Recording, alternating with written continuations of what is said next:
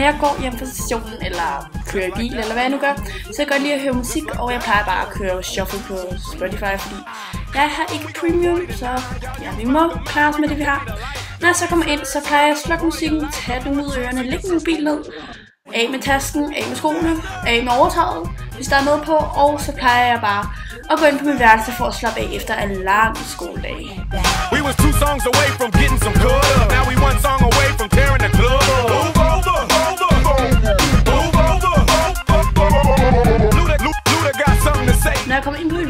Min jeg sidder og serier på nettet. Jeg ser tit South Park, Dance Moms. Ja, lige hvad jeg sådan har lyst til den dag.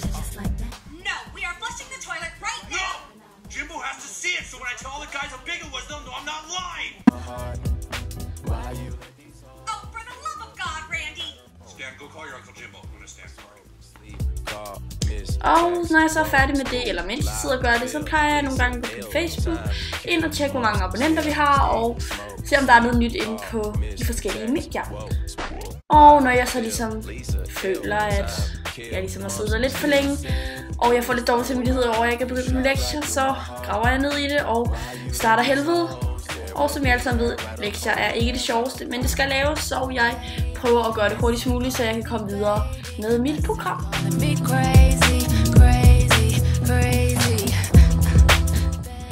Når jeg er færdig, plejer jeg at være rimelig sulten, fordi jeg er sulten meget af min tid, så jeg skal nu bare ud, og fordi jeg er et meget dårligt menneske, øhm, så er jeg ikke den store kok i køkken. Så jeg plejer egentlig bare at tage, hvad der lige er. Hvis der er nogle vinduer eller et æble, så tager jeg det. Er der nogle kiks eller et eller andet andet nemt, jeg ikke behøver rigtig at lave noget ved, så gør jeg det. Og jeg gør faktisk ikke rigtig noget ud at skære det i sådan fine stykker, som de fleste gør. Altså, jeg tager det bare som det er, fordi så dårlig er jeg nemlig. You can go to your band, you know it's going. Okay, dropping like it's a shout out to everybody. Time keep on ticking, ticking, ticking. Og jeg plejer bare at vaske det hele sådan ens, fordi hvem har tid til at stå og vaske hver enkelt ting? Altså, helt ærligt. Når jeg så kommer ind, så ja, det er egentlig lidt forskelligt, hvad jeg så plejer at lave. Jeg plejer bare at sidde og spise, måske er jeg på min mobil, jeg kan godt være jeg på min computer, måske ser jeg noget tv, hvad ved jeg. Øhm, sådan lige hvad jeg sådan føler for. Og så går jeg mig egentlig... Ah, okay. Jeg sidder egentlig bare og slapper af, indtil jeg sådan skal afsted til dans. Øhm, og jeg plejer altid at være en lille smule forsinket, fordi i mig tid, det går bare ikke. Øhm, så jeg skynder mig normalt bare ind for at finde noget tøj og sætte min hår og gøre mig klar til, at jeg skal hente Sofia til dans.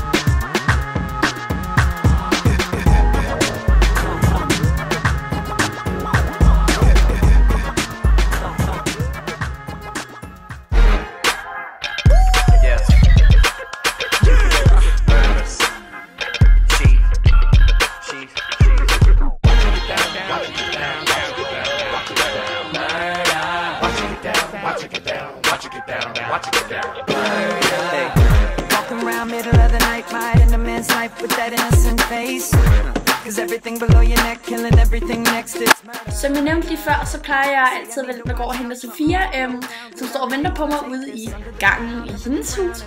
Øhm, og så tager vi egentlig bare sammen til dans. Og ja, det er egentlig lidt forskelligt. Nogle gange så tager vi også sammen til træning. Vi træner sådan stort set hver dag, så det er egentlig en daglig rutine for mig at gå og hente Sofia. Og så når vi egentlig er til træning, så laver vi alt fra jo serie til styrketræning til løbe. Øhm, alt hvad vi lige sådan føler for. Øhm, så ja, det er egentlig hvad vi sådan plejer at leve.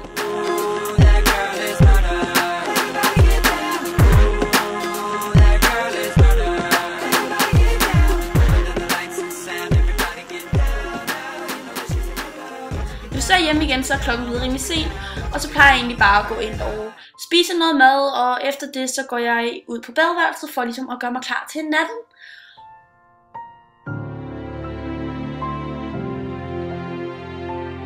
Så det første jeg gør, det er, at jeg plejer at fjerne min elastik og løsrive mit hår. Ej, okay. Jeg kan godt lide at have det lidt nede, sådan, så det ikke er op hele tiden. Jeg plejer at få hovedpine, hvis jeg har håret op for længe, men det kan godt være, at det er mig, der er bare mærkeligt. Så fjerner jeg min makeup, og jeg plejer at bruge den her Nivea øhm, Eye Makeup Remover, øhm, som jeg synes er rigtig, rigtig god mod min hud, og den efterlader den ikke irriteret eller noget. Og hvis I skulle undre jer over det der brandmærke på min hånd, ja, Julie hun var klog og bankede sin hånd op i sin lampe og fik et brandmærke, og det gjorde virkelig, virkelig ondt. Og som I kan se, så bruger jeg det både i ansigtet og på mine øjne.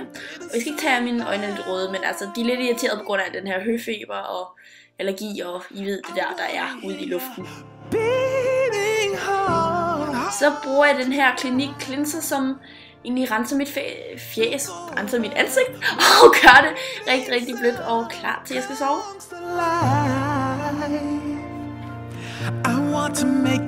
Jeg elsker at bruge den her, fordi den gør simpelthen ens hud sådan helt frisk, når man lige har været ude bade.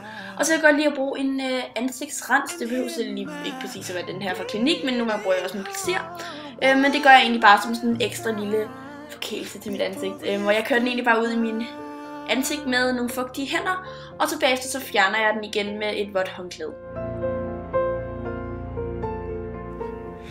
In the canyon underneath the trees Behind the dark skies you look Når mit ansigt så er helt færdigt og rent, så tager jeg tøjet af og gør mig klar til at komme i bad.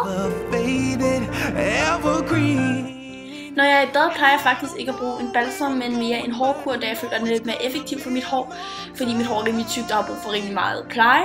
Så den jeg bruger, den er fra Garnier, og den købte jeg, da jeg var i Schweiz, og jeg har egentlig brugt den lige siden, og den er super, super god og virker rigtig, rigtig godt til mit hår. Og for samme mærke, så bruger jeg også denne her øh, shampoo, som også er fra Garnier. Og til min krop, der bruger jeg denne her body cream fra Sephora, som Sofie faktisk gav mig til jul. Og derefter der bruger jeg så denne her uh, dry oil, som er fra The Body Shop i jordbærduft. Og den dufter super dejligt og gør mine ben rigtig dejligt bløde, og også faktisk resten af min krop. Ja, sjovt nok. Når vi så kommer ud af badet, så er det tid creme, og jeg plejer at bruge den her MAC creme, som er super, super fugtgivende, og elsker den er så tyk, når jeg sådan skal sove. Til mine øjne, som er helt klart et af mine problemer i mit ansigt. Der bruger jeg to creme. Den første den er sådan lidt øh, tyndere creme, og den påfører på hele mit øje, og bagefter tager jeg den her MAC creme, som er en lille smule tykkere, øhm, og ligger den egentlig bare samme sted, for ligesom at få en højere dækkeevne. Eller dækkeevne, dækkeevne, en højere hjælpeevne, hvis man kan sige på den måde. Den hjælper i hvert fald rigtig godt mod min render under øjnene. Så skrubber jeg mine læber med denne her lip scrub fra Lush, og den har jeg sikkert set i mit hårlov. Den er blevet min lille baby lige siden jeg købte den og har brugt den hver eneste aften. Så bruger jeg den her Dalselin, som er en, øh, en urenhedsbekæmper, øhm, øh, og kan også bruges til sår og andre ting. Øhm, og der er mange, der har spurgt, hvor jeg ligesom har fået den, men det er en, du kun kan få på lægen, hos, eller få på lægen, få hos lægen, hvis du ligesom bestiller den der. Så reger jeg mit hår med min wet, wet brush, ja. Og så tager jeg min Moroccan Oil i for at gøre mit hår rigtig, rigtig dejligt. Og det er ikke altid, jeg bruger den her Moroccan Oil, da den er rimelig dyr, og jeg ligesom prøver ligesom at spare på den. Så tager jeg den her Milkshake øh, Leave-In Conditioner, som der er næsten ikke mere tilbage af. Og jeg fordeler den egentlig bare godt i mit hår for at gøre det dejligt blødt og få det til at dufte af kanel og karamel, eller hvad det nu er, den dufter af. Det kan jeg ikke lige huske her. Want to make the best of what is left. Just og så er jeg egentlig færdig med min sådan aften plejerutine, hvis man kan sige på den måde. Og så plejer jeg egentlig bare at gå ind på min værelse, lukke vinduerne, så folk ikke kan kigge ind til mig. Øhm, og så er jeg egentlig bare med sex, så den er klar til jeg skal sove. Og min aftenrutine er faktisk rimelig speciel, fordi det er ikke altid, jeg gør det her. Det er sådan det er meget sådan blandet fra, hvad jeg lige har lyst til. Nogle gange ser jeg tv, hvis der er Paradise for eksempel.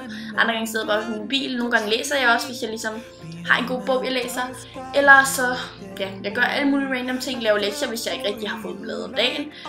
Men i hvert fald, det var egentlig min aftenrutine. Øhm, jeg håber, I kunne lide den, og så må I meget gerne like, abonnere og kommentere.